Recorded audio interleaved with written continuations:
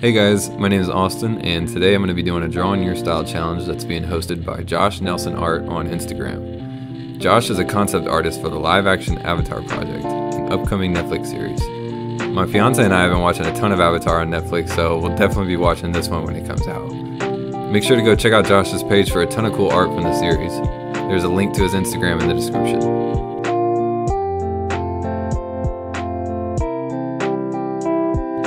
If you like this video, don't forget to hit the like button and subscribe if you want to see more. Every time you like or comment on a video, it helps me out a lot, and I really appreciate it.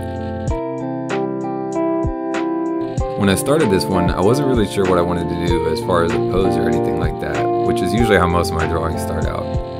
One thing that was kind of challenging about this was that I don't really draw animals a lot, but I figured that this would be a good opportunity to try and challenge myself.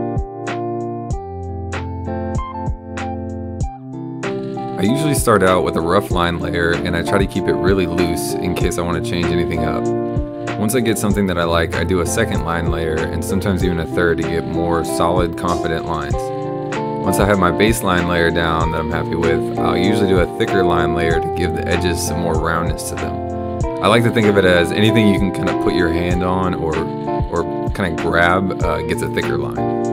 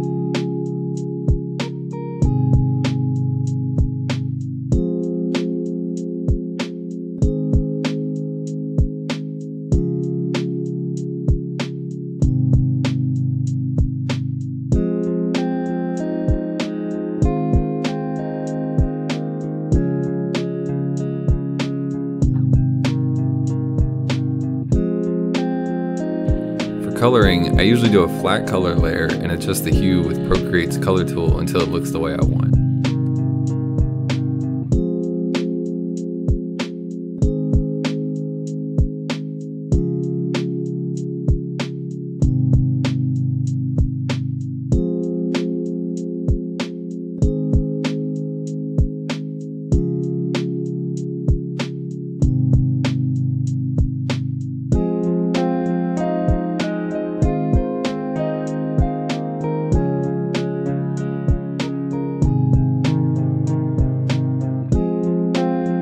And then for shading, I usually do a base layer depending on the mood I want to go for, and then I cut away sections where the light hits.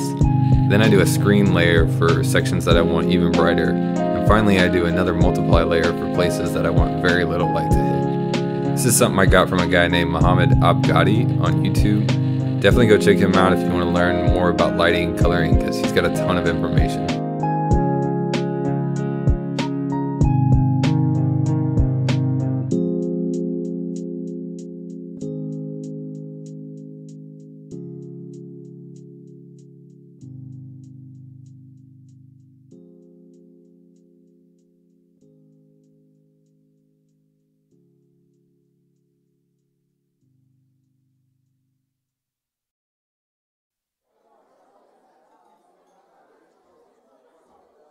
Cold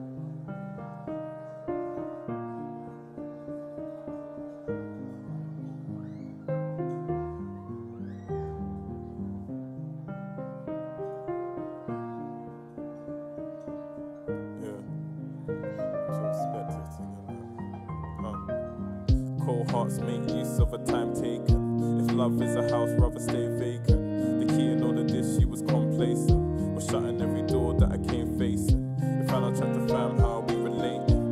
Overall, I'm happy with the way this one turned out. I hope you guys like it, and don't forget to like and subscribe as well as let me know what you might want to see me draw or talk about in future videos in the comments. Peace.